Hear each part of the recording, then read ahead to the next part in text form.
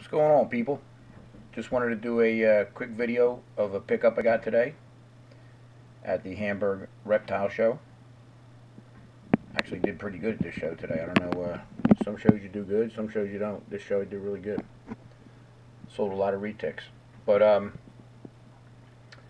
anyway, these guys here are, uh, they're hypo granite 100% het for albino Burmese pythons and uh,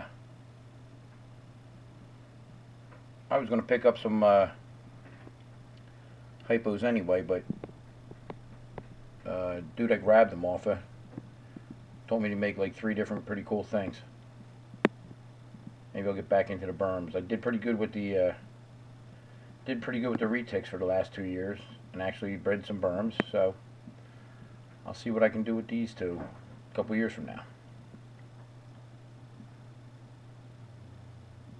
But anyway,